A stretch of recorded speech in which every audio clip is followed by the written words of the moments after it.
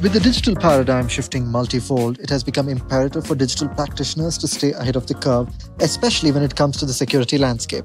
While defending against threats is an important conversation, threat hunting and building defenses is as critical as reacting to real time threats.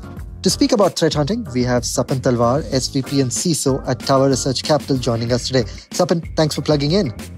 Thank you very much, Ashwin, for having me here in this podcast. It has been a pleasure to be aligned to Dynamic CISO and sharing my thoughts over this podcast. Sapan, now the workload and pressure on CISOs has increased significantly, but obviously they can't let their guard down and they need to maintain a proactive approach instead of just reacting to mitigating cyber attacks. Now, how can CISOs maximize their threat hunting efforts within the current constraints? Thanks for the question, Ashwin. Uh, yeah, I would say, uh, as all of us know, these are unprecedented times, and we are living in an era where uh, things are pretty much unknown, uh, both from the uh, environment perspective and both and the other side of threats, uh, which are ongoing, and the current threat environments are pretty much dangerous in some sense to create a lot of havoc. we have seen that past year has been really overwhelming from the cyber attacks which have happened from multi-range from smaller to the large largest of organizations so i believe that threat hunting is a very very important concept to be onboarded in every size of organization. Basically threat hunting involves proactively searching for malware or attackers that are hiding within the network right? So the key point here is being proactive. Uh, the hiding areas could be a network or an endpoint or a server, wherever the kind of services an enterprise runs. The most important thing is proper planning, which can ensure that the hunt will not interfere with the organization work on a daily routine basis. And I want to talk about that word hidden. Now, visibility of is, is of utmost importance, right? Now, in your opinion, what are the ways in which organizations can improve visibility across the entire digital footprint, across enterprises, and to effectively and more accurately carry out threat hunting? Exactly. Visibility is a critical aspect here. Uh, and the key here is don't hunt for things you already can find, but focus on the threats for which there are no automated alerts or de- detection mechanisms established already, which broadly means that what we know is what we know, but look for what we don't know. Right. In my opinion, the visibility can be increased by collating information to fully understand the operating environment. This is this includes, uh, but not limited to, layout of the network, running the various kinds of operating systems which are running in the environment, their existing vulnerabilities, the tools and the services running on each operating systems, identify the critical assets on the network, make sure there are automated detections in place. Also, beyond all of this, it is important to understand the assets which has been targeted in past. It is important to understand tools and tactics which has been utilized by threat actors across the globe and learn from their past behaviors and accordingly make sure that every aspect of your own environment is visible to the critical team. In some cases, it is the SOC team. In other, people name it as information security analyst team. So I think having visibility of all these aspects is very, very important to initiate this kind of a program and start threat hunting as a concept. That's interesting, Sapan. Now, how do we find what we can't see? Now, where do you see the challenges in existing threat hunting plans that, you know, enterprises run. Do you suggest organizations move to a more intelligence driven threat hunting using tech like AI, ML, or behavior analytics? So I fully agree. Uh, it's not as simple as I said, but uh, there has to be a continuous process, uh, which is an evolving process. Uh, enterprises in last few years have started to be engaged on the threat intel piece, uh, whether by adopting to certain services offered by third parties or creating their own models. Uh, of course, uh, this is a changing threat landscape, and everyone has to change the way they're looking at the threats in their respective environments.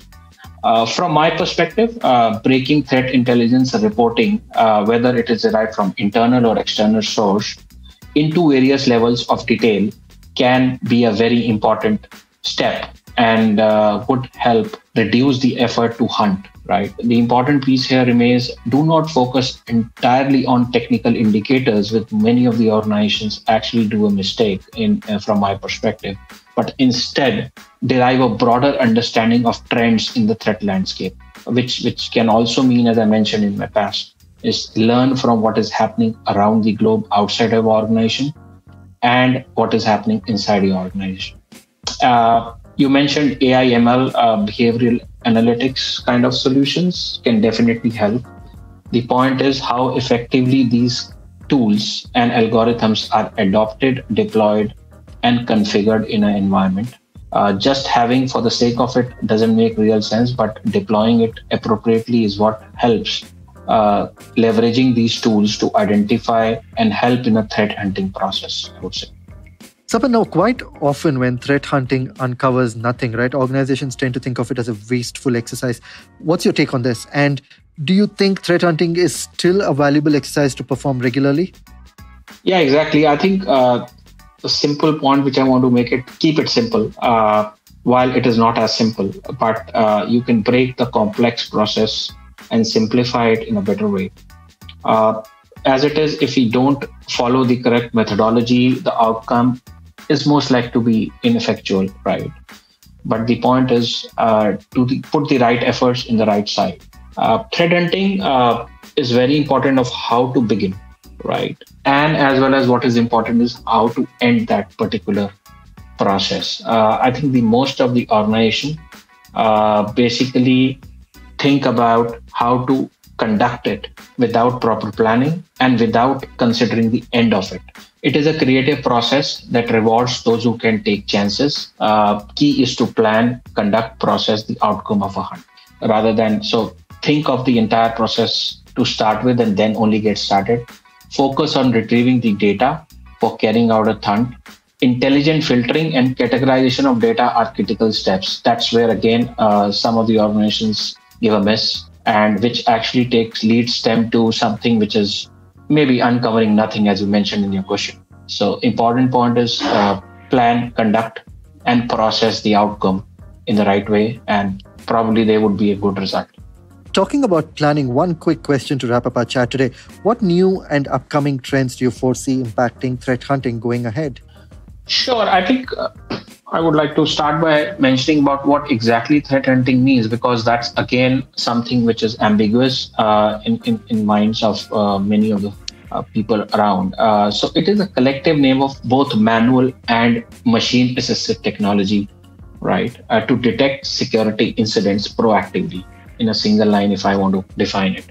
Uh, the predictive element to a layered security strategy is, is the key here and that can actually empower organizations to go from offensive looking threats right?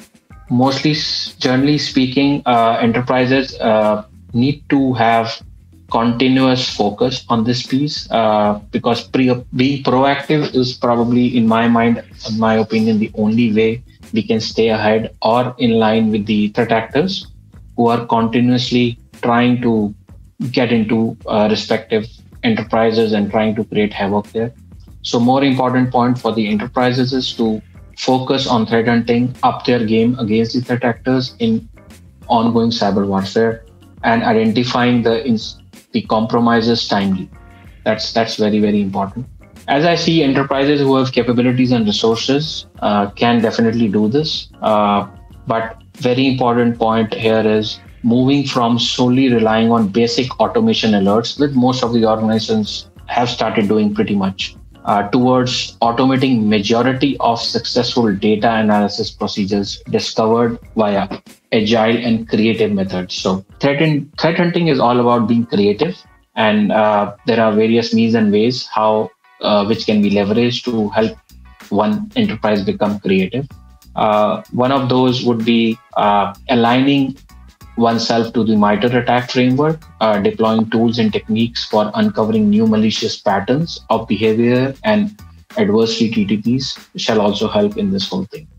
Another recommendation uh, will be to adopt a OODA framework, as we call it. It is basically observe, orient, decide, act by integrating the EDR, the SIEM, and the SOAR technologies, which are again being deployed in many of the organizations in recent past.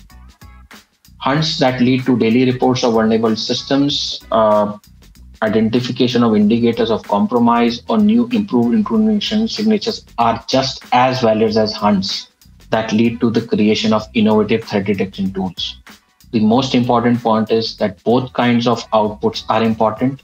Need to learn from those outputs, implement the changes, reconfigure the environment on continuous basis, and continue on this threat hunting journey, which shall probably protect the enterprises staying away from intrusions from the threat actors.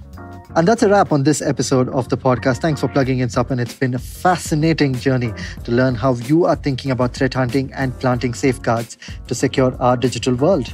Thank you for having me, Ashwin. Thanks to the entire Dynamics team.